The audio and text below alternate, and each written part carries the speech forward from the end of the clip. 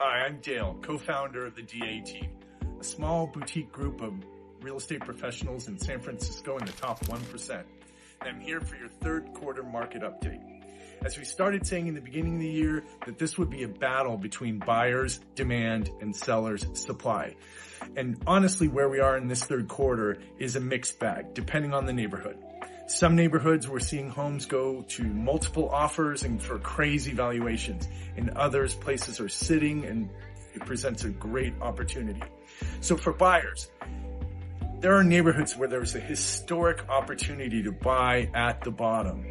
And, but if you're interested in other neighborhoods, then you might be competing. It's never been more important than to work with a qualified real estate professional like ourselves to help you get into the home that makes the most sense for you. For sellers, never ever been more important than property preparation and strategic property preparation. This is something my team can help with so that you maximize the price of your home when selling. Give us a call. We're happy to discuss the market, your specific situation and how we can help. Looking forward to chatting.